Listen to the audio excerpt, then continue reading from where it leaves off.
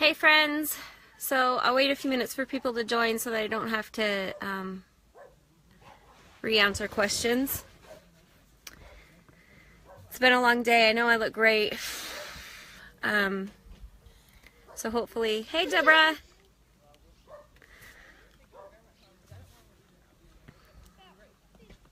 There's little Bubs. He is not very happy right now. he wants out. I'm at the church doing mutual, doing church stuff, just trying to live live my life being a single mom. Okay. Great. We've got 22 viewers. Okay. So I just talked to Ammon. He called me. We talked four times. He was literally tortured. Tortured for 13 hours with cuffs behind his back, as tight as they could be. He said it was cutting off the circulation on his in his wrists. Right now, um, there's so much to tell you. So much to tell you. I hope I can get it all in. If not, then I will write it in the comments. Um, so the story is this. He was laying in bed. He wasn't quite asleep yet, but um, he had his shirt hanging off the bed. And he didn't think anything about it. He wasn't defying policy. He didn't know that you couldn't hang your shirt from the bunk. Not to mention that half the pod does this, okay? So yes, they did single Ammon out. He was singled out on purpose. In fact, I wonder if it wasn't premeditated. But um so he the the shirt was hanging down and um the guard came over and said uh, that he could not um, have his shirt hanging down. And Ammon said, "Well, what what's the big deal about that?" And he said, um, "Well, it's our policy and it's our procedures." And he said, "Well, okay." So he took the shirt the shirt away, and Ryan said came in and he got involved and he said, "Well, I can't understand what the big deal is." Can you say hi? I can't understand what the big deal is about it's a shirt. And he said, I don't care, it's policy. And um, so Ryan, so Ammon tried to grab the shirt back because if you don't have a shirt in the morning, then they don't give you, they, they won't give you breakfast.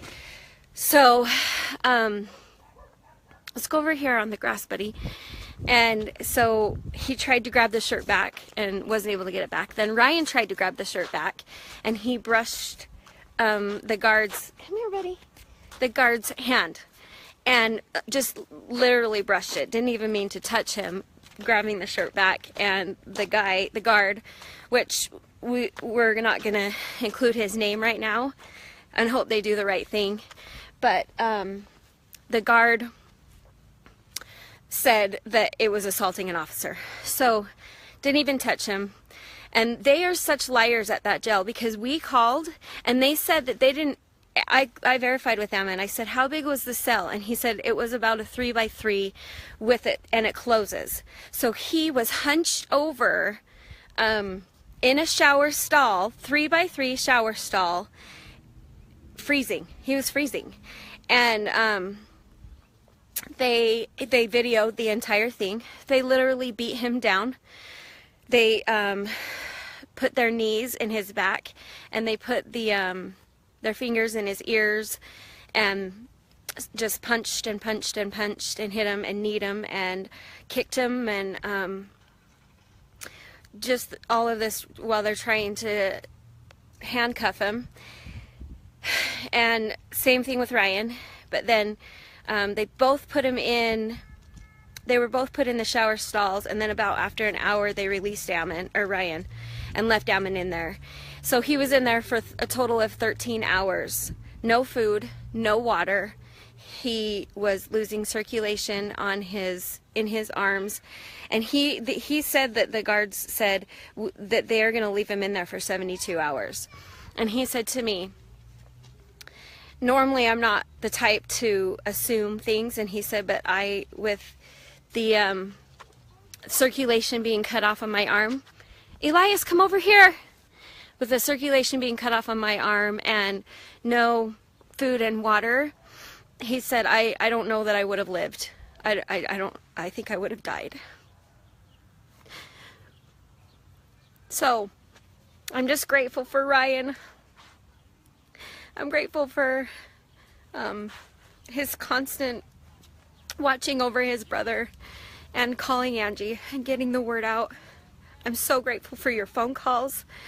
Um, there's there's so much that I, I am grateful for and I could go on and on and I'm in a, I'm pub, in, in public because I had to drop kids off at church functions. But um he said that the uh, he said that they filmed so after 13 hours and all of our phone calls I guess they decided to send in a team of SWAT people. I don't think they were SWAT people. I think they were probably um, guards that work there, but they were in full tactical gear. And um, uh, forced Ammon out of the shower, grabbed him, and he said he couldn't even walk. He said he was weak. He had been hunched over and sat down, and he couldn't walk and they were forcing him and if he wasn't forcing then they were kicking his legs and just being terrible to him and laughing and just being awful filming the entire thing. So someone out there has a video of this. Because i said do you think that there's cameras? And he said oh honey they videoed me the entire time. So there's documentation of this. And um, he's he said that um, they um I lost my train of thought. They oh, when they when they dragged him out of the shower after 13 hours. So 13 hours. Um with his hands behind his wrist or his back and um, his wrists were so swollen the circulation was cut, cutting him off. He was starving. He was thirsty. He he was very weak. He said he got nauseous because of the pain. He said the pain was so horrendous. The cramping in his legs and his arms. He said his, his shoulder was dislocated. His wrist was dislocated. And he had to put it back in himself. Um, but when they threw him in the solitary uh, room. They call it segregation, but my friends, it is not only segregation. It is solitary. It is the hole. It is not just segregation. Um, that they threw him in there and they literally ripped all of his clothes off. And he was naked and um, they're filming him and, uh, you know, I don't care if you, the mean people out there call me a crybaby. Where is your empathy? Where's your compassion? I cannot under, I cannot believe the world we live in. You wouldn't, you wouldn't believe the, the messages I received today. Anyways, I'm grateful for good people. I'm grateful for good Christian, God-fearing people. I wish I wasn't so emotional, but I guess I just love my husband so much. Anyways, so they stripped him of his clothes and they shut the door. They took the cuffs off and then shut the door. And, um,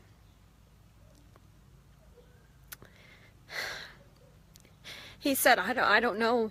I don't know that there's anything that us men, fellow men, can do to, to with this situation. He said, I think this is only something God can do. And he, he told me, he said, Lisa, tell people that I'm just not a very good prisoner. And um, I, you know, I just, he's like, tell him I'm sorry. And I just cannot believe that he's apologizing for their actions.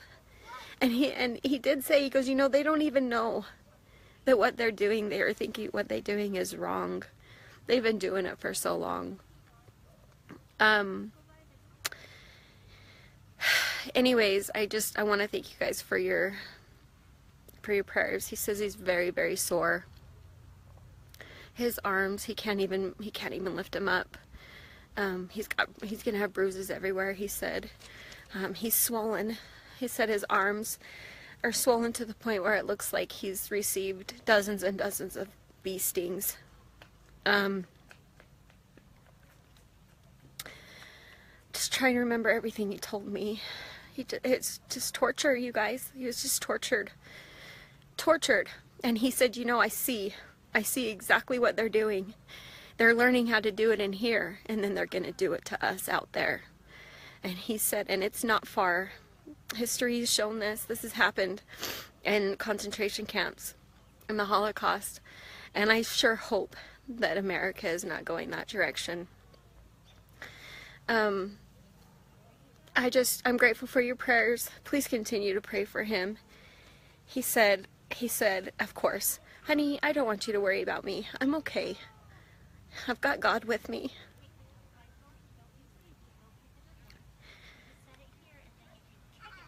Anyways, thanks for everything you guys did today. I'm grateful.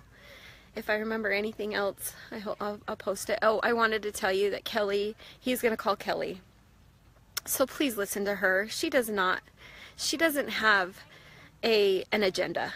Okay, I called her and I said, listen, Ammon's gonna call you and fill and so that you can record the your guys' phone call so that people can hear what happened. But I wanted you to hear it from me first because this is true. I can't believe some of the messages I got today. This can't be true. Well, it is. I am living a real nightmare. My husband Ryan, and many men are living a real nightmare. And I just want you guys to know that, that how many other men are enduring this without without a voice. I, and at what point, I, I've also gotten messages like, well, you shouldn't have committed a crime. Well, what about all those that didn't? They still deserve this justice, and, and even if they did commit a crime, they still deserve being treated this way. God never intended it this way. You know whose way this is? This is Satan's way. Force, any kind of force, is Satan's way. It is. That was the plan in heaven. God wanted agency. He wanted us all to have agency to choose to do the right. And and Satan didn't. He wanted to force. He wanted to force us. And I mean, it's very plain and simple to me. I see it. Um, I do see the only way that we might get out of this is with good lawyers. Everybody says, what are they doing? What are they doing? Well, they don't, those gels, they don't listen to lawyers, people. I, I hate to say it. I've never lived this kind of life and endured this kind of hell. But they don't listen to lawyers. They listen to judicial um, people. So we need to be calling the judge. We need to be calling the U.S. Marshals. But they don't listen. They don't answer. They never call back. It, the only people and things we can do is, is petition God. It's all we can do. Um, or we will all be enduring this torture. And it's real. It's real. Um, he said he wanted to thank everybody for the calls. He had heard that there was many, many calls. Even though they say they can't do anything, they still call. They still, it makes a difference. The calls make a difference. Everybody's given the light of Christ. And so, um, those people that are making those choices, they have the light of Christ in them, or maybe they've been doing bad for so long that they just don't have the light of Christ. I don't know. But I know that I want to be completely on the other side where God is. And I'm going to work hard at trying to forgive these people that just have evil in their heart. Um, okay, well, I just th thank you. Please pray for Ryan and Ammon. Uh, they lied to them. That was the other thing. They lied to him. They deceived them. Ryan got taken in the hall first, and Ammon said, Well, I, I want to see what they're doing to my brother. And the sergeant said, Sure, you can. And so, because he did, because he looked out the window, then they, um, they disciplined Ammon. And then Ammon said, You guys are liars.